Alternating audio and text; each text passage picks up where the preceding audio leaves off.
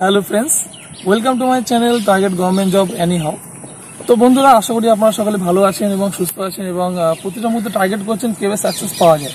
তো আজকে ভিডিওটা সম্পূর্ণভাবে ডাব্লিউবি কনস্টেবল এবং জেল পুলিশের সম্পর্ক নিয়ে আলোচনা করব। তো এর আগে একটা ভিডিও আমি করেছিলাম তোমাদের জন্য, সেখানে আমি বলেছিলাম যে তোমাদের একটা লাইভ ভিডিও এক্সপিরিয়েন্স করাবো যে, এই যে আমাদের পরবর্তী যে স্টেপগুলো রয়েছে, অর্থাৎ মেডিকেল যেহেতু এখন মেডিকেল আস্তে আস্তে করানো হচ্ছে ক্যাটাগরি ওয়াইজ তারপর আস্তে আস্তে ট্রেনিং হবে।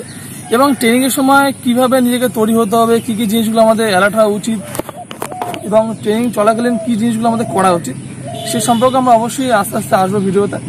তো আজকে যে আমাদের মেন ভিডিও করার মেন উদ্দেশ্য সেটা হচ্ছে মেডিকেল মেডিকেলে কি কি হচ্ছে, কি কি ডকুমেন্টস লাগছে ডিভিতে সম্পূর্ণ বিষয়ে আলোচনা করব। তো সো আমাদের সাথে ক্যান্ডিডেট রয়েছে, ঠিক আছে? তো প্রথমে তার নাম জিজ্ঞেস করব, ঠিক আছে? এবং কোথা থেকে বিলং করছে, এবং তার যেহেতু মেডিকেল হয়েছে জাস্ট একদিন আগে তো সেই মেডিকেলে কি কি জিনিস তাকে করানো হলো এবং কোন কোন ডকুমেন্টস তাকে নিয়ে যেতে হয়েছিল সেই সম্পর্কে আজ আমি ক্যান্ডিডেটের মুখ থেকে জেনে নেব। তো তোমার নাম? আমার নাম অভিষেক সরকার। আচ্ছা। কোথা থেকে বিলং করছ? আমি শ্যামনগর। শ্যামনগর।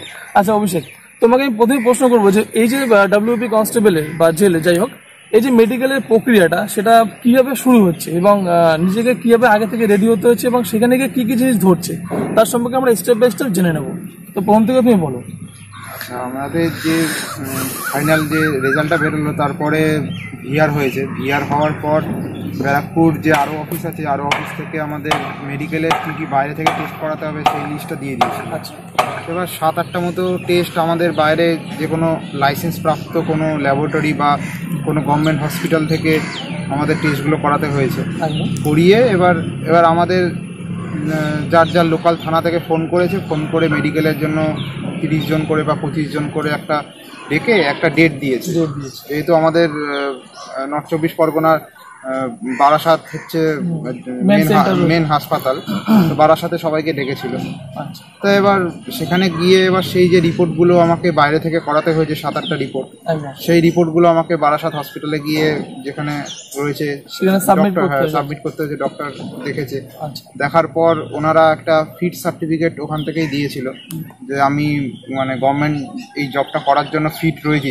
হ্যাঁ, সেই সার্টিফিকেট একটা দিয়েছিল। ওখান থেকে ওনারাই ওখানে ফিল আপ করেছে।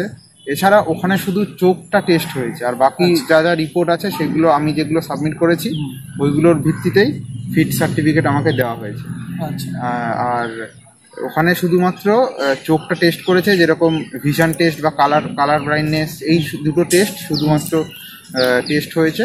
আর সেরকম আর কিছু টেস্ট হয়নি। এমনি নর্মাল জিজ্ঞেস করেছে কোনো কোথাও আমার অ্যাক্সিডেন্ট হয়েছিল কোনো সমস্যা আছে কিনা হ্যাঁ, বা শরীরে কোনো সমস্যা আছে কিনা। আমার যেহেতু সমস্যা নেই আমি নাই বলেছি।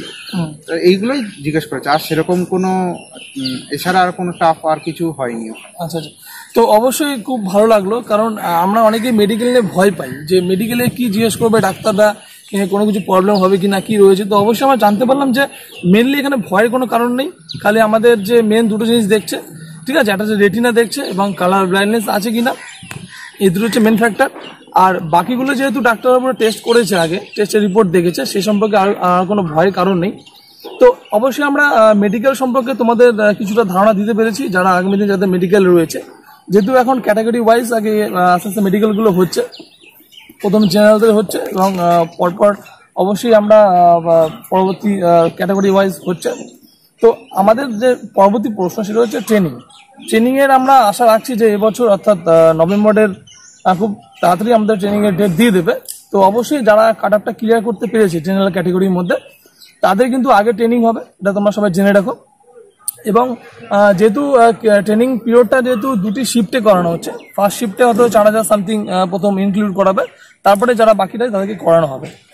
এবার প্রশ্ন হলো যে ট্রেনিং এর সময় গিয়ে যে যে বিষয়গুলো ফেস করতে হয় ক্যান্ডিডেটদের যে ট্রেনিং কীভাবে চলে ট্রেনিং চলাকালীন কি করা উচিত, না করা উচিত, সে সম্পর্কে অবশ্যই আমরা বলব। তো আমরা আশা রাখছি যে, সেখানে যাতে বেটার সবাই করবে। এবং এই ট্রেনিং যেহেতু ট্রেনিংয়ে কি হবে না হবে, সে সম্পর্কে আমি দু একটা কথা ক্যান্ডিডেটদের মুখ থেকে জানতে চাইব। তো অবশ্যই আমরা যে পরবর্তী প্রশ্নটা আসবে, সেটা হচ্ছে ট্রেনিং সংক্রান্ত। অর্থাৎ এই যে ক্যান্ডিডেট প্রথম থেকে শেষ অবধি যে একটা টোটাল বিষয় প্রথম থেকে পিলি থেকে মেন্স থেকে মাঠ থেকে কমপ্লিট করার পর যে ট্রেনিংয়ে যায়, আমি ক্যান্ডিডেটের মুখ থেকে জানতে চাইব যে তার মেন্টালি প্রিপেয়ারটা কতটা রয়েছে এবং সে কতটা মানে তৈরি রয়েছে এই যুদ্ধের প্রস্তুতের জন্য তো অবশ্যই আমি তার মুখ থেকে শুনতে চাইব।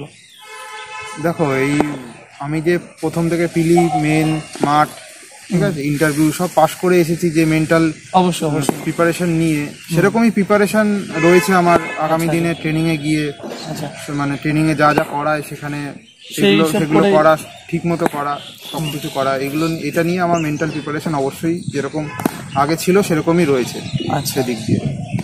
আচ্ছা তাহলে খুব ভালো একটা বিষয় যে যেহেতু এখানে দেখো এখানে কিন্তু কে কাকে ছেড়ে দেওয়ার ব্যাপার না। মাঠে যেহেতু নেমেছি আমাদের পুরোপুরি সাকসেস পেয়ে কিন্তু আমাদের থামতে হবে। আমি বারবার একটা কথা তোমাদেরকে বলি যে লড়াই করে যেতে হবে যতক্ষণ আমরা সাকসেস পাচ্ছি। এবং তার আগে আমি একটা প্রশ্ন করব যে মেডিকেল যে ডেটে হয়েছিল সেই সম্পর্কে আমি একটা কথা জানতে চাইব যে মেডিকেল কোন ডেটে হয়েছিল? আমার এই থার্ড নভেম্বরে মেডিকেল হয়েছিল যে বারাসাত ডিস্ট্রিক্ট হসপিটালে আচ্ছা তুমি কোন ক্যাটাগরিতে বিলং করছ?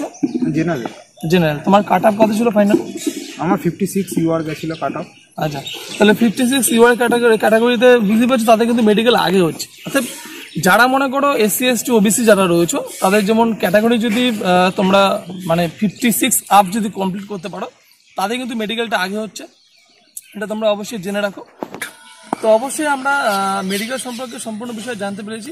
এবং মেন বিষয় এখানে দেখো প্রথমে বলছি যে ক্যাটাগরি ওয়াইজ কিন্তু মেডিকেলে কোনো ব্যাপার নেই।